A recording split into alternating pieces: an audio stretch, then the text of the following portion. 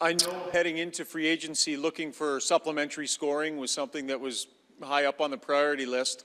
Um, maybe just discuss that pursuit and where you think you are with that. Well, I think, you know, as when I was announced uh, two months ago, what I was hoping to accomplish over the, the um, summertime, still, still you know, two months to go, obviously was to uh, get another goal, goaltender to go with Koskinen. Um, obviously, Dave Tippett had um, Mike Smith in uh, Dallas. I think they were together. Um, very, very competitive guy. He's, uh, he can handle a puck. Um, he's a motivated athlete. We talked uh, to him a couple of times this week, so uh, we feel good about our, our, our tandem and goal. And then uh, on the back end, we wanted to uh, create more competition. We need we need to find more players that can get double-digit double-digit goals. Um, Markus Granlund uh, is a player that I think the last three years had 19. I think he scored eight in about 50-something games. Had 12 goals last year. So we think his his uh, resume says that he should be able to score double-digit goals. Um, and you know we've signed some. We, you know we, we signed Nygaard from Sweden. We've signed uh, Gaetan Haas from Switzerland. Uh, signed. I know Tomas Jurco. Obviously, we drafted him in Detroit. Uh, we're trying to create uh, more competition at the bottom part of the roster.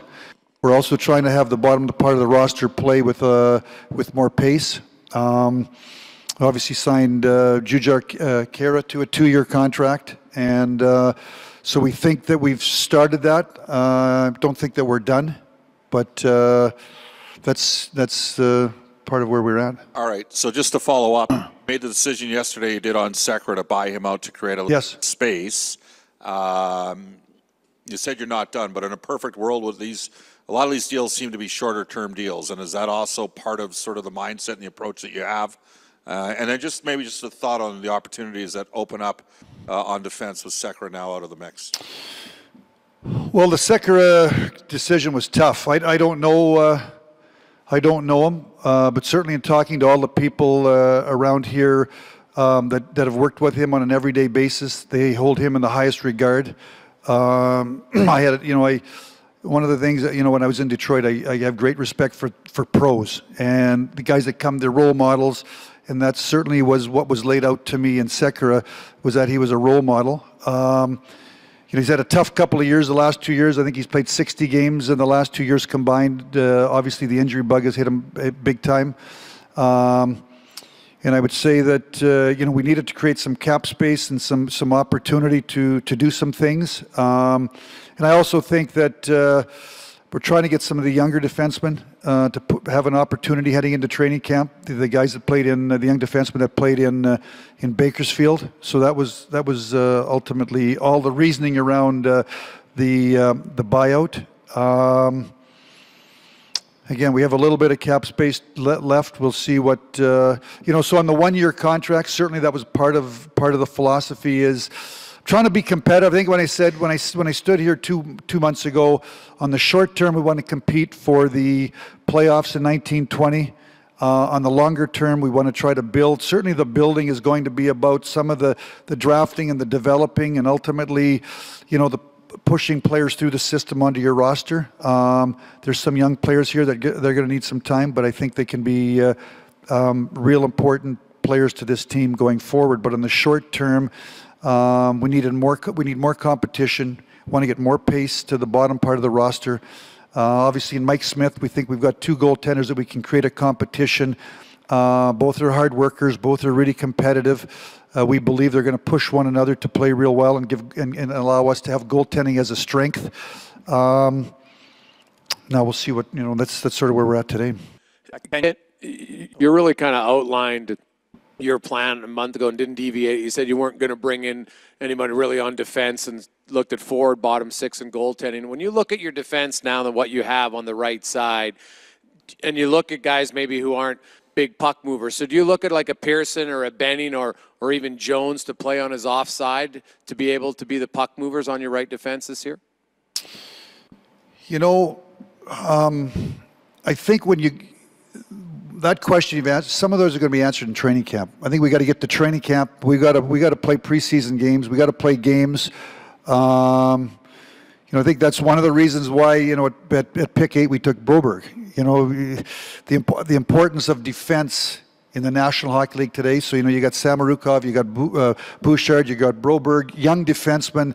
They're going to need some time. Um, but we've got some defensemen in, um, in Bakersfield, you know, Lagesson, we, Persson's coming over from, obviously from Sweden. You got Jones, uh, Bear might have missed somebody, but but they're they're players that they they can compete for spots in uh, in training camp. So um, I think that ultimately, as as I weighed as I weighed whether we stood stood pat and didn't buy out uh, Sekera, or we did, um, at the end of the day, we needed some cap space to try to to uh, create a little bit of, of, of opportunity to do something. Um, but also the push of defensemen. Um, I think that's one of the strengths of this organization. Um, and the top four guys you're talking about, for the most part, top fours, you got to do one of two things. You've either got to draft them and develop them, or you got to pay a ton of money to get them. And um, we don't have a ton of money to get them. And I think we do have top four defensemen, but but I'm not sure that they're ready right now. But I think that I believe they're pushing through the system. And in Granlund, when you sign him, is the plan to have him as a center, even though he's played a lot of wing in Vancouver, and similar with Jujhar Khaira? Where do you see those two fitting in the lineup? Well, he can play all three positions. You know, we talked to him. I think he's most comfortable on the wing. He can play center. Um, you know, I, you know, as we sit here today, obviously we need a third line center. Gaetan Haas is a center. Um, Jujhar can play center. Um, uh, Granlund can play center. But certainly, we're on the lookout to see if we can find another guy between now and training camp that can, that can uh, they can play center. But, Jim, oh, over there. Um, Jason, uh, Yes. did you circle back to him, or what, what was the reasoning there? Circle back in what, in what term? Well, he waited a long while. Did you try to? I, I talked to him about uh, two weeks ago um, to um, his agent, Pat Morris. I'm not sure if it was about two weeks ago, and then uh, talked to him, I think, early this week. And I think that, you know, obviously, um, you know, he had 22 goals. He's popular in the locker room. He's a right shot. Um, we wanted to explore the market, and I, you know, I think in the cap world, what you try to do is you try to get the most bang for your buck on every on every signing. Not every not everyone works out. Uh, we wanted to explore the market. I stayed in touch with Pat Morris. You know, Pat and I had a sort of a joke today when we talked to Alex. I think this week, Pat Morris might have called me at 10 o'clock every night, Sunday, Monday, Tuesday, Wednesday, Thursday, Friday. And, you know, Alex Chiasson was uh, one of the people that we talked about. So, uh, so I've been in touch with, with Alex's camp, with his agent all week. And One more, you don't have a top six forward, a winger for Nugent Hopkins to play with yet. Are you still looking for one of those? Always looking. Jim, always looking, yeah. Was Nyquist just too expensive, or what? Because you know him from Detroit. I think, what, did he had 5-5 cap number? It's a big number.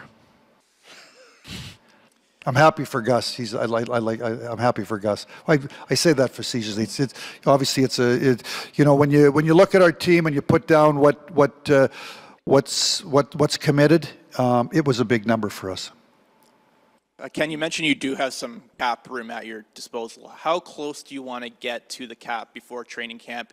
And do you envision now that it'll be a trade that you'd have to make to augment the lineup aside from, rather than a, uh, a free agent sign? Um, I think, you know, I, th- I think when we get to training camp, you know, I think you'd like to be at least, you know, a million and a half. You'd like to have a player for, you know, you- you're not going to go, go any less than a million dollars less closer to the cap because, because, you know, it's 925. Uh, I think ideally you'd love to be, uh, you know, a million five to two um, below the cap so that you've got, uh, at any point in time, you can bring up a couple of players, two or three players, depending on what their cap number is, 700 to, to 900. Is that,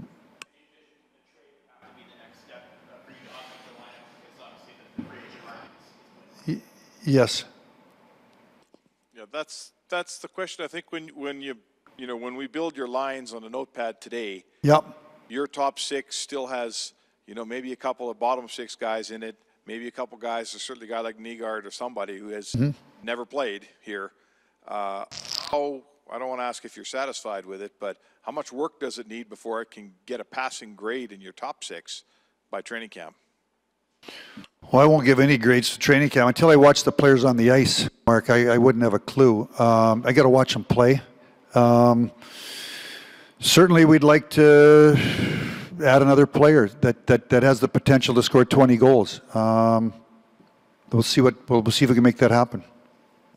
So, uh, can the agent for Brett Connolly mentioned that Edmonton was certainly in the mix there. Uh, Wayne Simmonds might have made sense, especially given the term length of his deal. Is it a different challenge in Edmonton? Not that it's Edmonton, just that it's in the West versus guys that have spent a number of years playing in the Eastern Conference. Some guys like to stay out east. Does it does it uh, limit the pool a bit, or I didn't find that at all. Um, I think at the end of the day, you know, it's it's it, everything. Your decisions are cap related today, and I think at the end of the day, um, you know, all the names that you you're going to mention up front, uh, other than the guys that that, that commanded, uh, you know. Um, you know, eight, nine, 10, 11 million dollar salaries. Um, for the most part, I talked to uh, all of them or their agents for sure. Um, and I think that it was, um, you know, if, again, I think it's cap related. I think it's about how much how much cap space you got. Those teams today that made a lot of noise had a ton of cap space, and it goes in cycles. And somewhere down the road, we're going to have a ton of cap space, and somebody else isn't going to have a ton of cap space. So right now, uh, we don't have a ton of cap space. We're going to bring in play. You know, you, you just heard the plan. Somewhere down the road, we're going to have a ton of cap space, and we're going to make uh, make noise. But certainly, um, when you've got the core of players here that that this organization's got, uh, it's very intriguing to players outside to play with those kind of players. Uh, Ken, can you, is your first time in this fishbowl. Uh, all your years in hockey and everything like that. Can you contrast? Detroit was a fishbowl too. Yeah, well, I'm sure it was, but in this particular one, uh, can you contrast what what uh, this last two months have been like for you? And also, I mean, there.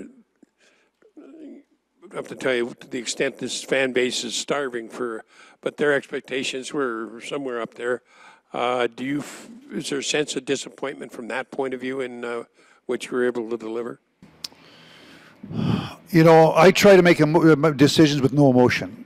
Um, and I would say to you, you know, I live in, I try to live in a cocoon as much as I can. Um, and you go, you come, you know, every, we, we were here every day from Sunday. I think we, I don't know, we showed up here at 7:30 and went home at 7:30 and worked the phones, talked to people, had our lineup on the board, looked at our cap space, looked at our commitments.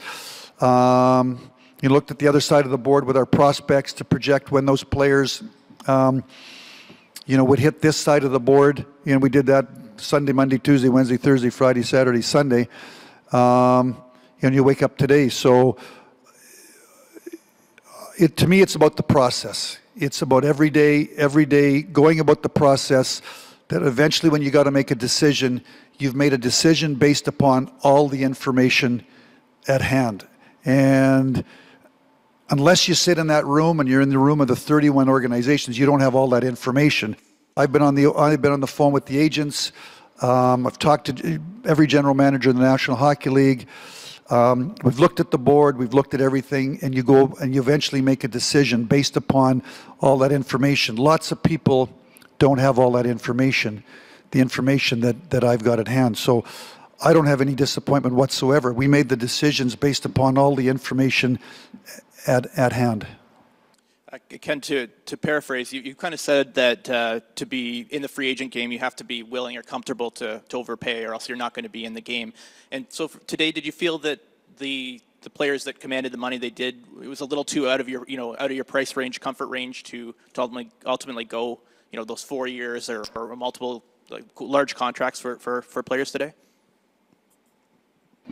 Did I feel The, the market, I guess, was too you know, too high for you to kind of and too rich for your, your No, I don't. I don't think so. No, I think. I think again. We, I was just saying to Terry.